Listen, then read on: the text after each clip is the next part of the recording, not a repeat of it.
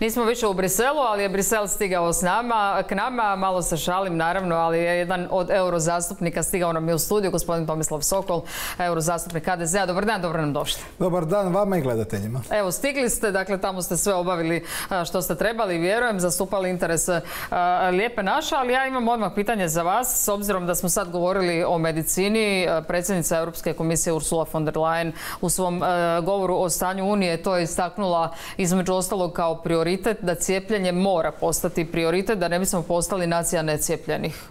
Da, doista ovaj govor o stanju Unije pokazao da je zdravstvo postalo glavni prioritet Europske unije, što definitivno prije nije bio slučaj. Europska unija do sad zapravo i nije imala zajedničku zdravstvenu politiku, nego je to bilo uglavnom ostavljeno državama članicama uz izuzetak nekih vrlo specifičnih uskih područja kao što je prekogranično liječenje. Međutim, ova kriza je pokazala da postoje problemi zdravstveni koje države članice ne mogu same rješavati, koji prelaze razinu e, samih nacionalnih država i koji prelaze granica, to su naravno ovakve pandemije. Zbog toga je ovaj govor pokazao koliko je važna ta europska zdravstvena politika, a i osvrnula se na konkretne rezultate. Dakle, do sada je Europska unija uspjela za građane Europske unije nabaviti se preko 700 milijuna doza cijepiva, što znači da se svi građani odrasle Europske unije mogu cijepiti s dvije doze, a osigurano još 1,8 milijardi ako će trebati treća mhm. doza i tako dalje. I još je osigurano 700 milijuna doza cijepiva za treće države, što je izuzetno važno i za sigurnost Europske unije, da se ne, da tamo se ne bi e, virus dekontrolirano širio, da ne bi onda nastali novi sojevi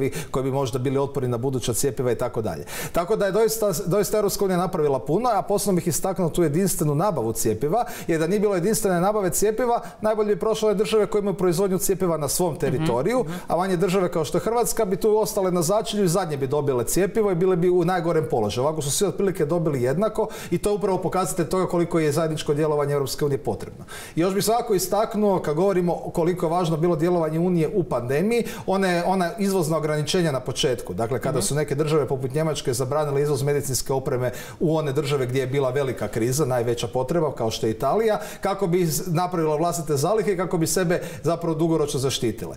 I, to je, u tom trenutku je to bilo izuzetno opasno jer je isto tako moglo doći do podjele ako svaka država gleda, gleda samo sebe, opet bi one najbogatije, najveće, najbolje tu prošle. I tu je Europska unija vrlo brzo reagirala i, i taj problem je riješen. A da se takvi problemi ne bi ponavljali u budućnosti, ja sam uložio da na amandman koji je usvojen na ovoj plenarnoj sjednici, a to je da, da takve mjere izvoznih ograničenja više države članice ne mogu uvesti bez prethodnog odobrenja Europske komisije. Mm Tako da nećemo imati naknadnu kontrolu gdje se izgubi puno vremena, a ljudima je potrebna mhm, pomoć mhm. odmah, nego će države članice morati pričekati dok im eventualno komisija ne bi odobrila ako mogu opravdati iz nekim razlozima takva ograničenja. Tako da, tako da smo i na taj način zapravo zaštitili manje države poput Hrvatske da neće biti izložene e, izvoznim ograničenjima, odnosno nesašici medicinske opreme u slučaju buduće krize. Amandman je prošao bez obzira što ste naveli primjer Njemačke, recimo kao jaka članica.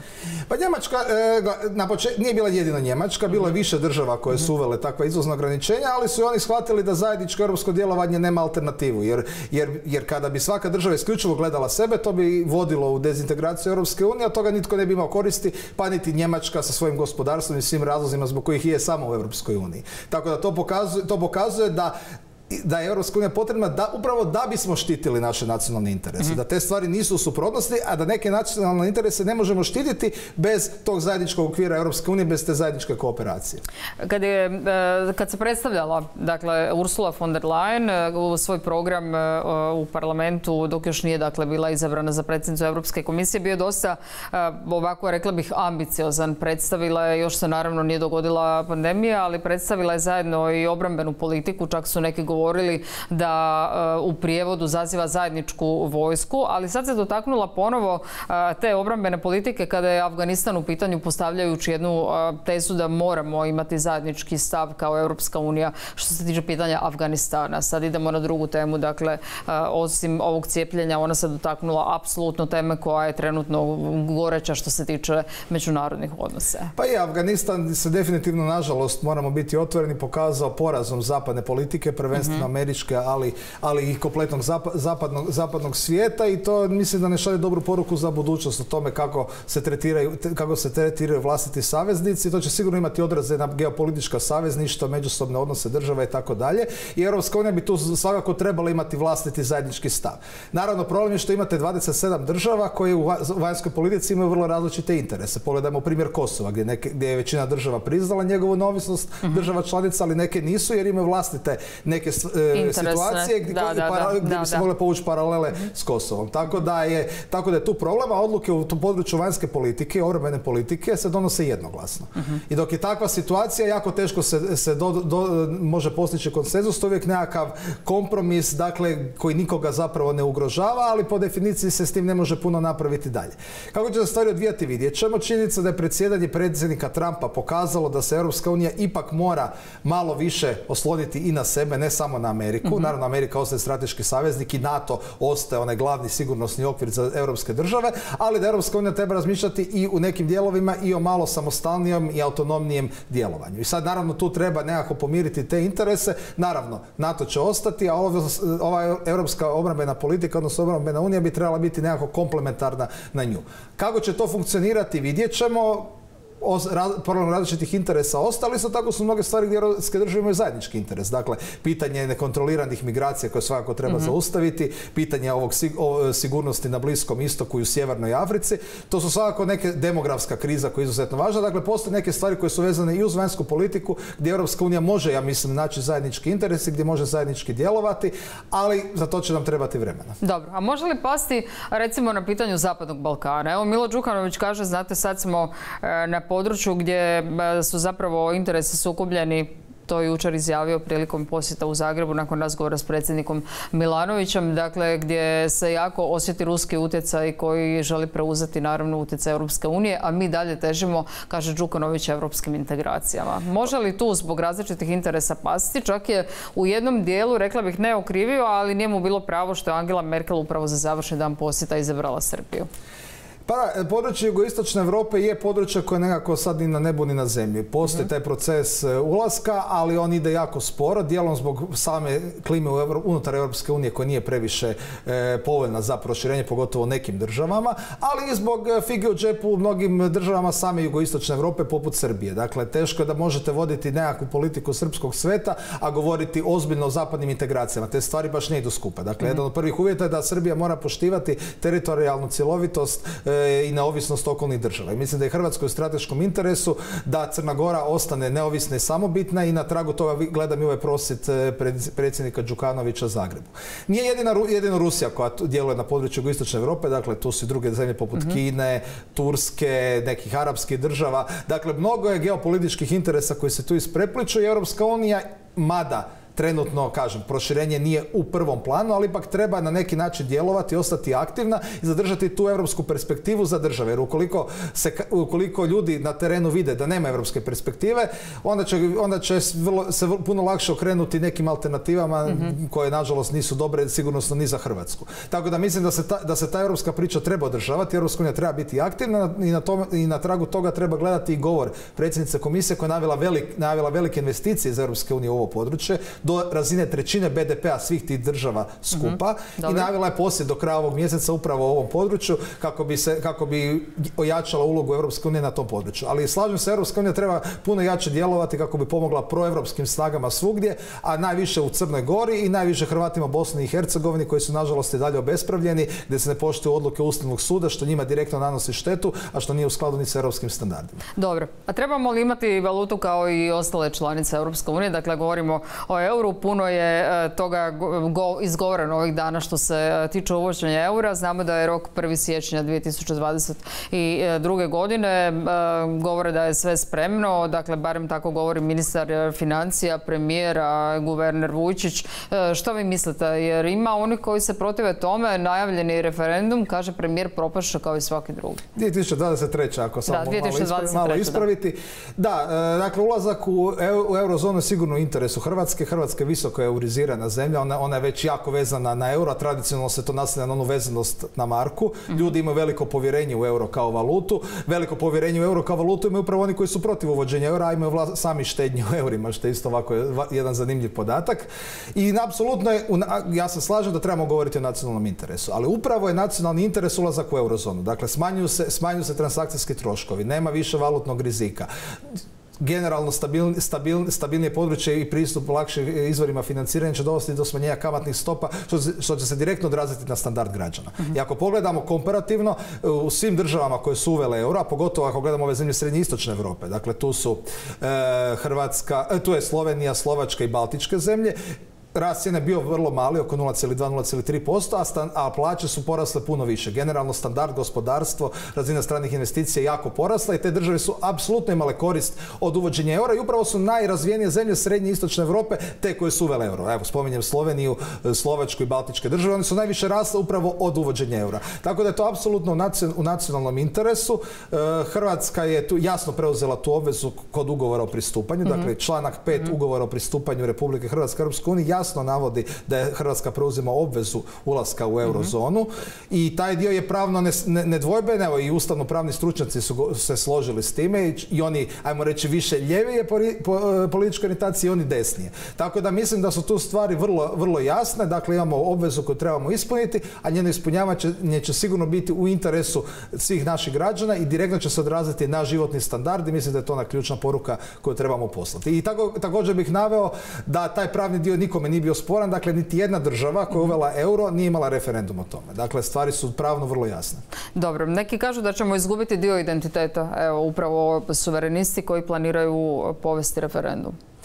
Pa dobro, zaštita nacionalnog identiteta je jako važna, ali njega treba gledati u, u kolopletu zapravo i cjelovitoj slici zaštite nacionalnih interesa. Ako će hrvatsko gospodarstvo jačati, ako će mhm. Hrvatska biti dio jedne, jednog prostora stabilnosti, ako će biti lakši pristup izvorima financiranja, ako će biti niže kamatne stope, više stranih investicija što će dovesti do porasta plaća. Dakle, ako imamo sve te pozitivne, pozitivne stvari, onda jasno da je nacionalni interes uvođenje eura. A na kraju krajeva kad govorimo o gospodarstvu, ne trebamo mi kao političari govoriti o tome. Pitajmo gospodarstvenike. Koliko se ja vidio svi, sve udruge gospodarstvenika, pogotovo izvoznika, su za uvođenje eura i to što prije. Dakle, ako su oni za to, oni vjerojatno znaju što im je u interesu. Dobro. Sad e, vas moram pitati, e, hoće li onda Hrvatska, sad kad ste najavili recimo manje kamatne stope, to je ono što zanima naše građane, jer imamo još uvijek među najvišim kamatnim stopama, bez obzira o kakvoj se vrsti kredita radi, bili oni stambeni, nenamjenski, za automobile ili koji god sad navedemo,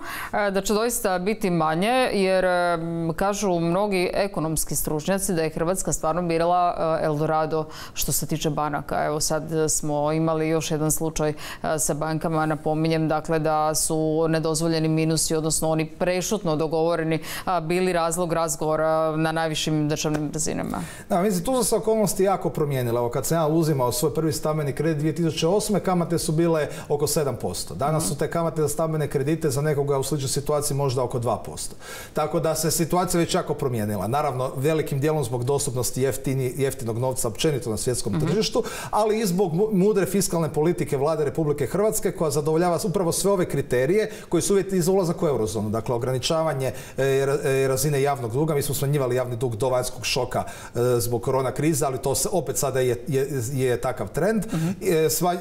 Praktički smo imali zadnjih nekoliko godina, zahvaljujući mudre politici fiskalne vlade Republike Hrvatske, situaciju da nemamo uopće fiskalni deficit. A sjetimo se kako smo imali u vrijeme Milanovićeve vlade kad su ti deficiti išli na 5, 6, 7, 8%, pa nismo bili ni blizu uopće da udovoljavamo kriterijima za ulazak u eurozonu. A upravo je takva mudra fiskalna politika, reprogramiranje dugova, aktivno upravljanje javnim dugom, za što je zaslužan ministar financija, naravno i premijer, je dovela do toga da u velikoj mjeri da nam je podignut kreditni rating i da je i to je itekako doprinjelo tome da su kamatne stope puno niže. Dakle, dakle, dakle, fiskalna politika vlade se direktno odražava na standard građana, na povoljnije kredite i niže kamate. Što se tiče situacije sa ovim minusima, da, radi se, radi se o jednoj situaciji koja, koja nije dobra, treba vidjeti koji su uzroci tome i vjerujem da se može naći mehanizam kako bi se pomoglo, kako bi se ljudima pomoglo, ali kako nijedna ugovorna strana tu ne bi bila oštećena. Da, kao što je bilo u slučaju, u slučaju Švicara se sad ste nahvalili ministra financija. Čini se da se onda premijer s razlogom za njega zalagao kad je bilo aktualno slučaj Borg i sjećamo se Agrokora, ali dobro, dakle, balansira koliko balansirati može pa, u ovoj krizi. Mislim da je slučaj Agrokor je jako dobar primjer e, kriznog menadžmenta jer smo, jer smo spriječili lančanu reakciju propasti Agrokora koja bi dovela vrlo vjerojatno i do propasta svih malih opskrbljivača, svih kooperanata i to bi imalo katastrofalne posljedice za hrvatsko gospodarstvo. Dakle, upravo vlada je svojim djelovanjem uspjela to spriječiti. Mali dobavljači, mali poduzetnici, OPG-ovi su bili prvi koji su namjereni i mislim da opet, kao i u slučaju eura, pitamo sami njih, pitamo zainteresirane osobe, pitamo naše gospodarstvenike, pogotovo ove male, što misle o politici vlade, je li ona bila povoljna za njih. Tako da mislim da je to jedan primjer uspješne politike, jedna uspješna, uspješna priča kojom se trebamo hvaliti. Dobro. E, ako vi tako kažete, onda ćemo, onda ćemo e, e, vjerovati da, da je tako, a pitat ćemo, evo, kao što ste sami rekli, inače Povjerenstvo za odlučivanje o sukobu interesa danas je raspravljalo oko postupka za pokretanje u slučaju Borg, pa su odlučili da se postupak neće pokrenuti ako se ne varam. Vidjet ćemo kasnije to još jednom i u izjavi dakle predsjednice povjerenstva. Ono što vas još želim pitati prije nego što razgovor privedemo kraju, kako funkcionirate sa ostalim zastupnicima što se tiče znači naših zastupnika u Europskom parlamentu, pogotovo sad evo imamo ono iz SDP-a poput Biljane Borzan koji se bave vlastitim strankama, imaju li vremena za rad u Europskom parlamentu i očuvanje dakle interesa koje tamo trebaju zastupati, a to su prije svega interesi Hrvatske. Pa ne bih sad pojedinačno isticao pojedine, pojedine zastupnike. Ja vjerujem da u svakom slučaju postoje stvari koje su zajedničkog nacionalnog interesa za koje se trebamo zalagati. Od pitanja europskog proračuna gdje smo uspjeli osigurati, zahvaljujući vladi, rekordna sredstva, ti 24 milijarde eura u idućem periodu. Pitanje migracijske politike gdje, mhm. gdje Hrvatska čuva najdulju vanjsku granicu Europske unije sukladno svim standardima. Nažalost, ima puno podmetanja na tu, na tu temu. E, naravno, pitanje je, naravno, pitanje zaštite potrošača koje je izuzetno važno. Vidjeli smo sad oko prošaka. Ako ste pratili, evo tu smo recimo mhm. kolega Picula i ja na istoj strani i, ja, i poslali smo jasnu poruku Talijanima da, je, da je svojatanje prošeka ne može proći. Tako da postoje teme koje su od zajedničkog interesa. Ja vjerujem i nadam se da možemo naći zajednički jezik i naravno ona najvažnija vanjsko-politička tema za Hrvatsku, a to je pitanje zaštite interesa Hrvata u Bosni i Hercegovini. To je, to je apsolutno glavni prioritet naše vanjske politike i mislim da oko toga možemo postići konsenzus. Mi smo već unutar naše političke grupacije uspjeli dobiti veliku potporu za, za zaštitu konstitutivnosti Hrvata u BiH, a ja vjerujem i nadam se da će kolege socijalisti u svojoj političkoj grupaciji, dakle ne samo oni podržavati konstitutivnost, nego da će uspjeti izlobirati u svojoj političkoj grupaciji da tamo dobiju Hrvati veću podršku. Ja vjerujem da će biti tako. E sad još jedno zanimljivo samo pitanje za kraj.